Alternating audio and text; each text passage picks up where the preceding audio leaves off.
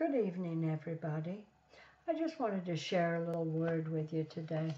I was uh, meditating on this earlier today, and you know, it's two total different mindsets that come from two totally different belief systems.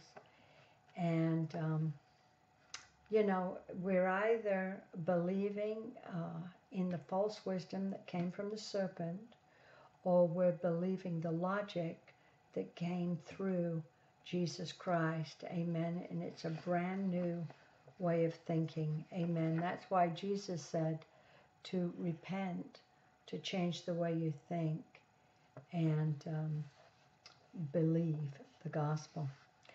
In Proverbs 18 12, um, 18 10 through 12, it says, The name of the Lord, you know, the name the name of a person represents their character, okay? And the Lord has such impeccable character uh, that you can trust Him. And you know, it says the name of the Lord. Now, whenever you see that word Lord in capitals, it is Jehovah or I am, okay? The name of the Lord is a strong tower. The I am, you know, that is just that just brings such comfort to my heart. The I am says to me, um, He's my strong tower. That means I am right now. It's not just 4,000 years ago, He was a strong tower, but I am right now a strong tower. And the righteous run into it and are safe. You know, when you have been declared righteous by our Heavenly Father, there's no fear, there's no trepidation. We in trouble, we just run to the safe haven, which is Christ, and we run into Him and we're safe. Amen. That is glorious. You know, it's just like um, if a child has a bad dream and uh, he's afraid of, of some phantom thing in his, his nightmare. He goes running, screaming into his daddy's arms. That's the picture that I get right here. Amen. The righteous know where to run. Amen. But the rich man's wealth is his strong city, and as a high wall in his own conceit. Look at that. The person uh, that trusts in the armor flesh, his own wealth that he has built is his strong city. He thinks that that's going to be his um, protection, that that's going to be his safe haven. But you know something? The scripture says money can take wings and fly away. Where is that man's strong city? If everything was to be gone. He would find himself uh, totally naked and without any strength. And you know, this, the next verse says, Before destruction, the heart of a man is haughty, and before honor is humility. You know something? For people that put their trust in riches, I would, it would be better for that person to have a tsunami uh, of financial destruction and come to the end of himself and realize he needs to put his trust in the Lord than to live all of his days in uh, believing that his riches were his safety because you know at the end of his days he's just going to be destroyed. Oh, that is so sad. And you know James 4:10 says, "Humble yourself in the sight of the Lord and he'll lift you up." You know, at any time a person uh, can just realize, humble themselves that they need God. Amen. You know, in, in Jeremiah 17:5, it says, Thus saith the Lord. Thus saith, that's capital, Thus saith the I am Cursed or under a curse. Under a curse is the person that believes uh, in the arm of his own flesh. Cursed be the man that trusteth in man, and maketh flesh his arm, and whose heart departeth from the Lord, from the I am. For he shall be like a heath in the desert. You know, a heath is like a, a tumbleweed. There's no life in it. It just blows around. Okay, wherever the wind blows, it blows.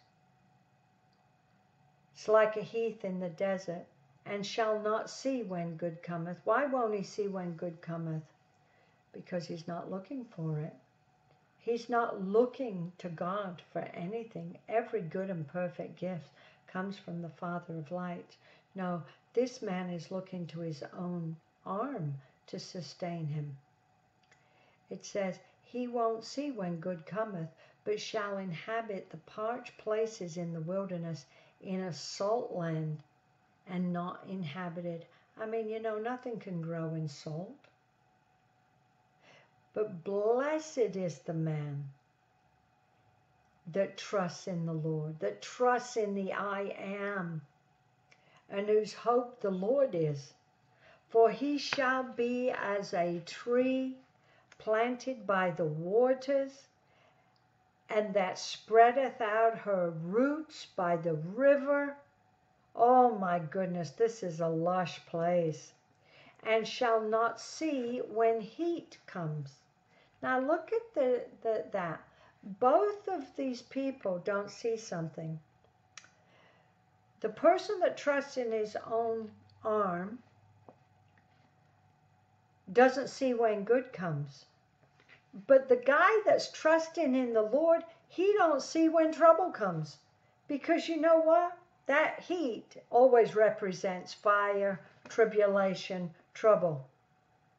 But even during the time of heat, her leaf shall be green, and shall and shall not be careful in the year of drought, neither shall cease from yielding fruit. I mean, this is so glorious because we get our sustenance from the Lord. It doesn't make any difference if it's a year of drought. It doesn't make any difference if the trouble is hot. Amen. We get our sustenance from God and we will continue to yield fruit. Amen. And uh, our leaves won't even wither. Praise the Lord. That is such good news. Hallelujah. The best news is to be going through trouble and not feeling it. Amen. Hallelujah. But our trust is in the Lord. He is the one that sustains us. In uh, Matthew 12 34, Jesus said to the Pharisees, He said, O generation of vipers. You know, this is the um, descendants of a viper. You know what he's saying is, you, your belief system is from the, the serpent. You have the seed of the serpent. He says, How can you, being evil, speak good things? Now, that word evil, that word evil means toil and labor. So, the way they perceive things is it's all works, it's all um, toil and labor. So he says, Hey guys, how can you, who has the seed of the serpent as a mentality, speak good things? You can't because it's all labor, okay? He says, For out of the abundance of the heart, the mouth speaks. And that is so important. Out of the abundance of the heart, the mouth speaks. Your mouth cannot speak anything different than what your heart believes. It's like your mouth is hooked up to your heart. And so your mouth doesn't speak independently of your heart. It can only speak what is in your heart. And that's why James said that the tongue can't be tamed. You can't tame a tongue. No, what you have to do is change the belief system in the heart because the mouth is energized by the heart. And um, oh, I just love that chapter in James because he says, you know, with the mouth you bless God and then you curse your brother. He said these things ought not to be. Amen. Uh, I'm going to go there. I wasn't going to, but I'm going to. Amen. Because I think it's so very, very important. He says, he says this. He says in verse 3 We put bits in horses' mouths that they may obey us, and we turn about their whole body. Behold also ships, which though they be great, are driven of fierce winds Yet are they turned about with a very small helm, whithersoever the governor listeth. What it's saying is, a great beast like a horse, this heavy, heavy horse, you can turn them about with just a little bit in their mouth. As you pull that rein, you turn them, you turn them. And a ship, a great big ship, can be turned about with such a little governor. Amen a rudder. Just steer it the way that you want it to go. It says, even so, the tongue is a little member, just a little thing in this whole body. It says, and boastest great things. Behold, how great a matter a little fire kindleth. And the tongue is a fire, a world of iniquity. So is the tongue among our members, that it defileth the whole body, and setteth on fire the course of nature. And that word course is wheel of nature. And it is set on fire of hell. My goodness. We need we need our mouths to speak good things. But you can't train your mouth to speak good things. No, the mouth is controlled by the heart. It says, Every kind of beast, of birds and serpents, and the things in the sea is tamed and hath been tamed by mankind. But the tongue can no man tame. You can't tame the tongue. It is an unruly evil, full of deadly poison. Therewith we bless God, even the Father, and therewith we curse we men which are made after the similitude of God. Out of the same mouth proceedeth blessing and cursings. My brethren, these things ought not to be. Doth a fountain send forth of the same place sweet water and bitter? Can the fig tree, my brethren, bear olive berries? Either a vine figs? So can no fountain both yield salt water and fresh. Who is a mind who is a wise man and endued with knowledge among you?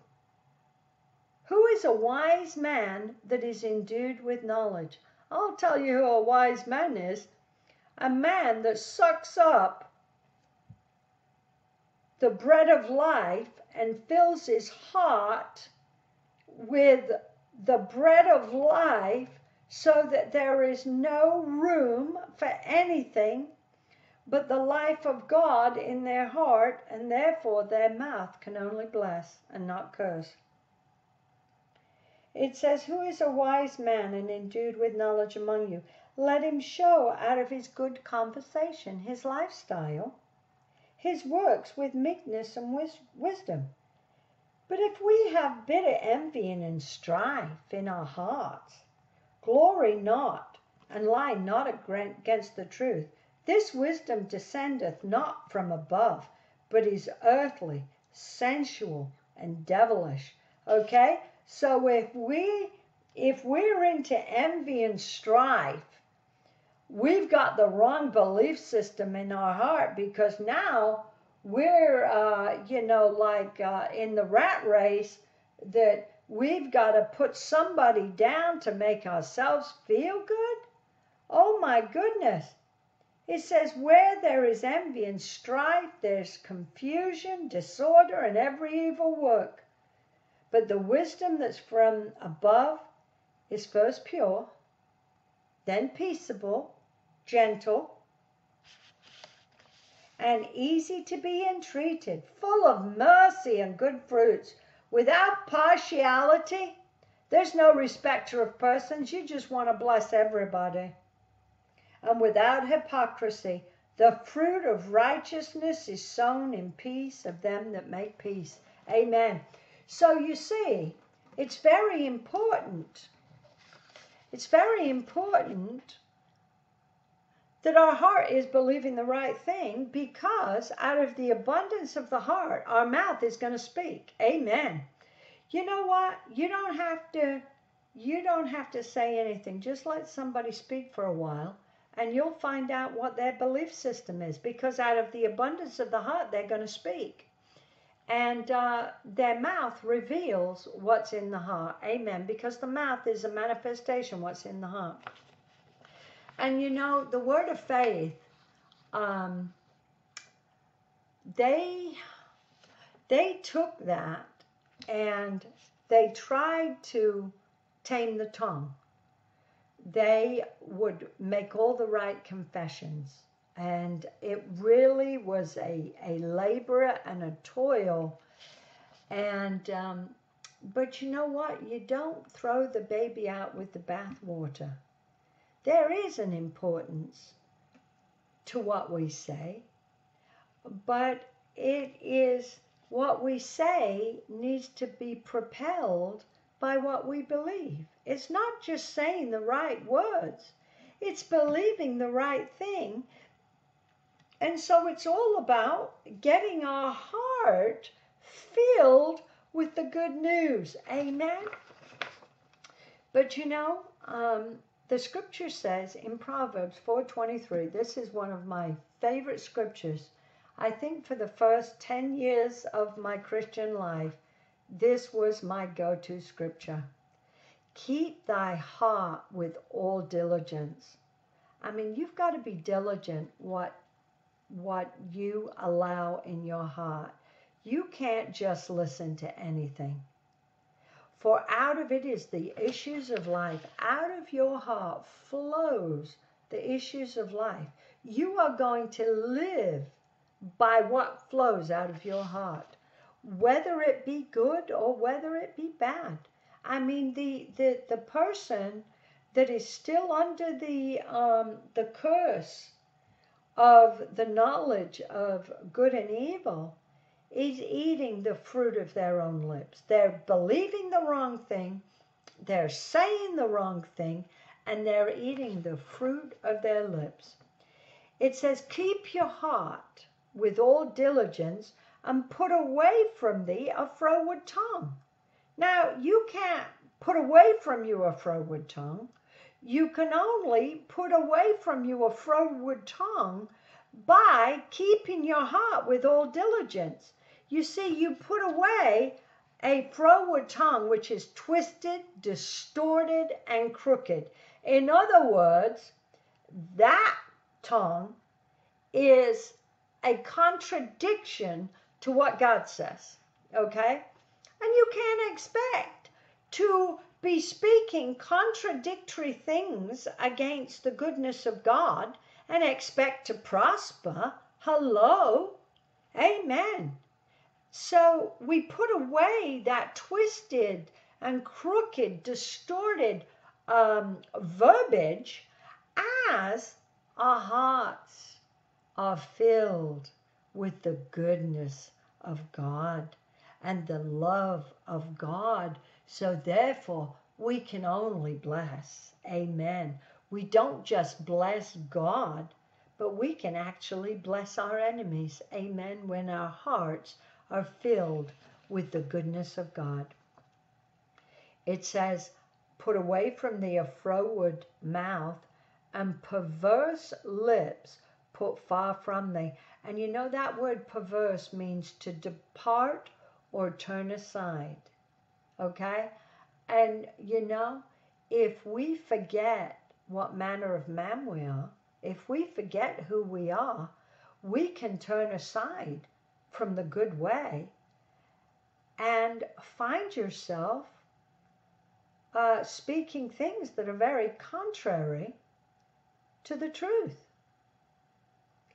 Proverbs 12:13 says the wicked is snared by the transgression of his lips.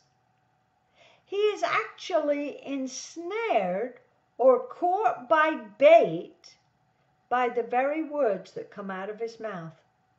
It says, but contrary, but the just or the justified or the uncompromisingly righteous person shall come out of troubles, out of straits, distress, and adversity.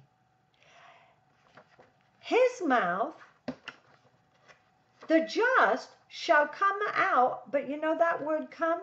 It means to be let out or to cause to come out. In other words, when our mouth is lining up with the truth, then the Holy Spirit leads us out of that trouble because we're aligned, we're in union, we're confessing or saying the same as God is saying.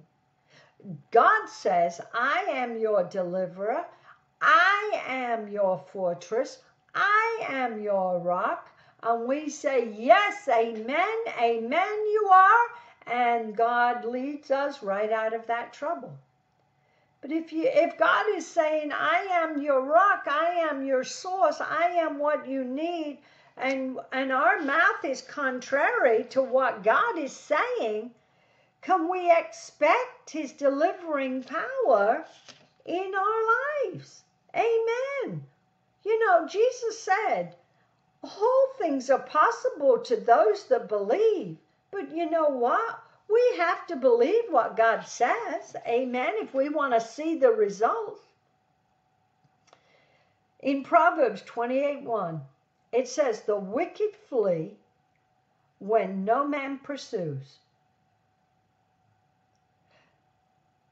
The wicked flee when no man pursues. You know, the wicked ha- have a um, evil conscience. They are they are under the curse and they're afraid. They're living in fear. And they run when nobody's running after them. And that word pursue means to chase and to hunt down. It says, but the righteous are as bold as a lion. Why is the wicked man running when nobody's running after him and yet the righteous are as bold as a lion. Because the righteous, their confidence is in God. They don't have to run from anything because they're living in the secret place of the Most High God. He is their protection. Amen. You're as bold as a lion. Glory to God. Now look at this. The wicked flee when no one pursues, okay? And yet Psalm 23 6 says, Surely or for sure, goodness and mercy shall follow me all the days of my life. It's the same word. The wicked are running when nobody's running after them, and the righteous are, are being pursued and hunted down by goodness. How can this be? Because the righteous, their mouth lines up with what God says, and they expect goodness. I mean, my Father is good, and He only has good, and He wants to be good to me, so I'm expecting it. And surely, for sure, goodness and mercy are going to hunt me down and take me over. Amen. All the days of my life. Boy, there is a lot in the Proverbs about what we say. In Proverbs 13:21 it says, "Evil pursues sinners." Evil or that word evil here, this isn't toil and labor. This is a different word. This is bad, unpleasant, giving pain, unhappiness, and misery, pursue, run after, chase, and persecute sinners. My goodness. And a sinner, that word sinner there means exposed to condemnation. You see, this is a person that has not had their heart sprinkled from the pure water. They have not received the gift of righteousness and they're still under the curse. And they're exposed to every lie, every condemnation, every accusation against you. It just goes into their heart because they have no shield of faith. You know, in Isaiah 54, it says, it says, No weapon formed against you shall prosper, but every word, every tongue that rises up against you in judgment, thou shalt condemn. This is the heritage of the servant of the Lord, for their righteousness is of me, saith the Lord. Unless we are established in righteousness, when an evil accusation comes against you, you won't have any shield of faith to be able to withstand those fiery darts of the wicked one. But when you know who you are and that you have a righteousness that has been gifted to you by the Father, you say, I receive I don't receive that. That is not in line with what my Father says. That is a contradictory thought. And you know what? I cast that down and I do not receive it. But that's what pursues the person that has not received the gift of righteousness. They're exposed to all condemnation. It says, but to the righteous, that is the just, the vindicated by God, good shall be repaid. In other words, the same way as all this nasty stuff is running after the evil person, it says good, pleasant, agreeable to the senses. Everything that will make you happy is coming after you. And it's it's that word shall be repaid.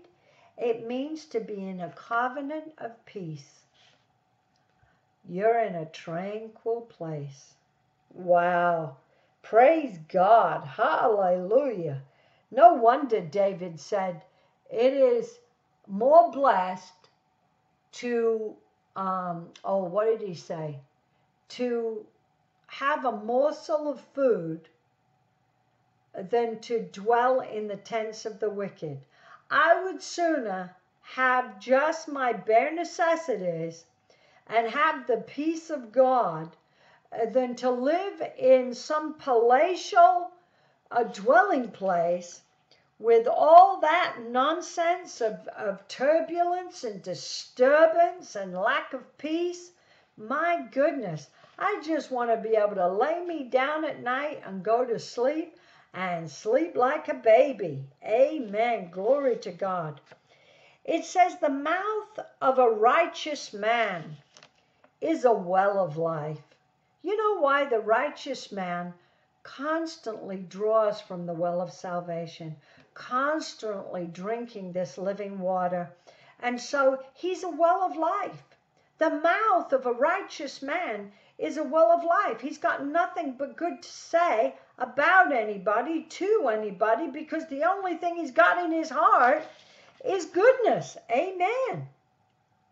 It says, But violence covereth the mouth of the wicked.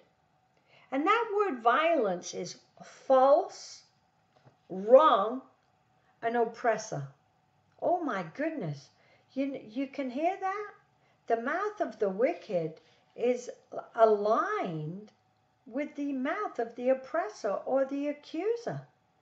I don't want to do Satan's bidding for him. Oh no, I want I want the love of the Lord to flow out of my mouth. It says, but violence covereth the mouth of the wicked. And you know that word covereth, it means to be overwhelmed. To be overwhelmed or to be dressed in. In other words, the mouth of the wicked is clad with nothing but falsehood and oppression. Amen. And and that word wicked is the guilty. So I mean you know, as I just think about this, I just think of people uh, that don't know the Lord, that don't know the Father's goodness, that are still under the curse of living from the, the knowledge of the tree of good and evil. And they're an open target to every demonic attack and accusation and they are hurting, man. They are hurting. And the only thing they know to do is to hurt and to, to speak evil of people, to give themselves some kind of comfort in this twisted uh, life that they're living, that they can, they can think by putting another person down that it's going to make them feel better. Listen, that is no part of our life. You know, we are children of the light and we walk in the light. We don't walk as children of the darkness. Amen. We don't walk in envy and strife.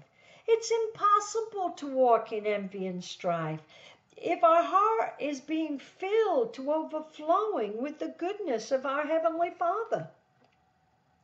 It says, hatred stirs up strife. That word hatred is a hater, an enemy, and joined together with. In other words, hatred is in league with the devil. The devil is the destroyer, the separator, the divider. And when we have that kind of a belief system in our heart that, that we are what we do, that we are we can only be accepted by God through toil and labor. We are filled with anxiety and anger, and we will try to find our relief in putting others down or stirring up strife. In other words, if I'm feeling bad about myself, then I'm going to, and let's say somebody said something bad against me. Then what I want to do is go and get somebody on my side to be on my side against that person. That's bringing division and strife, and all of that comes from having an evil conscience. Amen. It says, but love covereth all sins. You know, when we're in love, we're in league, we're in union with Father, Son, and Holy Spirit.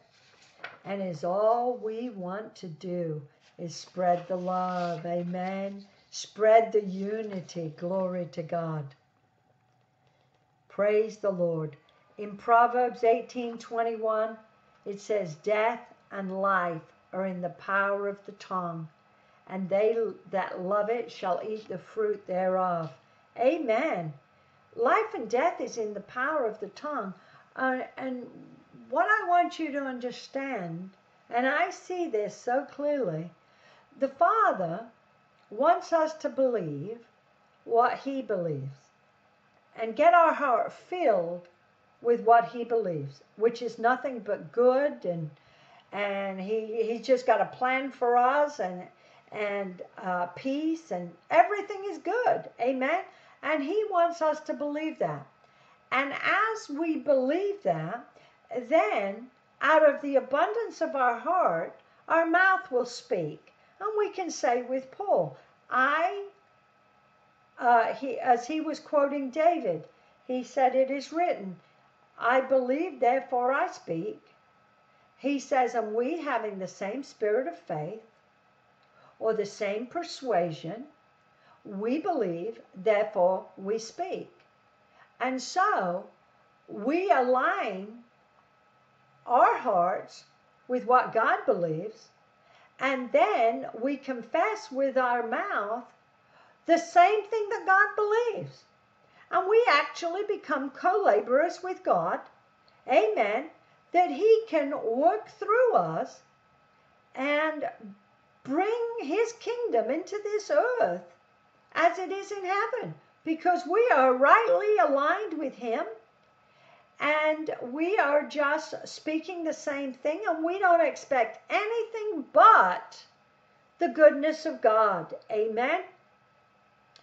But people that do not have the logic of God in their heart are believing um, that they are condemned, they are miserable, and out of the abundance of their misery, they speak vile and horrible things.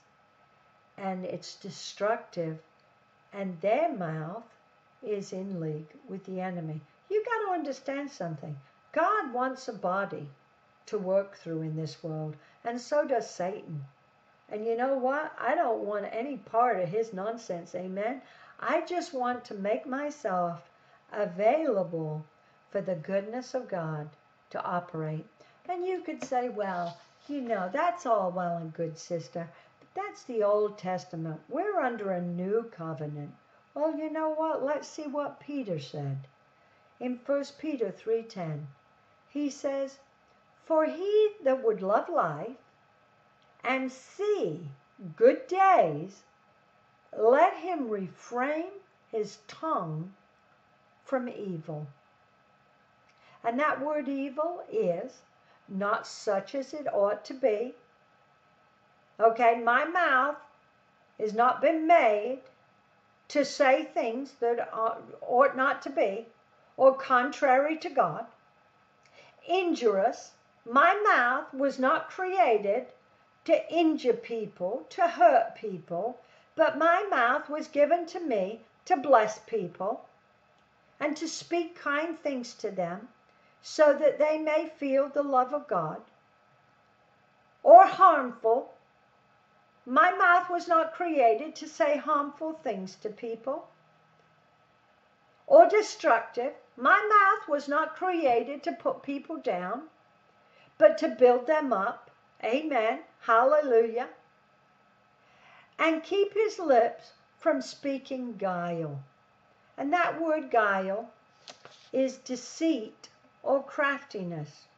In other words, don't speak things that are the seed of the serpent. But you know what? You can't stop yourself from saying things if your heart is not filled with that which causes the mouth to speak. Your mouth is just going to speak whatever you've been putting in it. Amen. So it says, um, so don't speak any uh, deceit. He says, let him eschew evil. That word eschew means to avoid, turn away from. Turn away.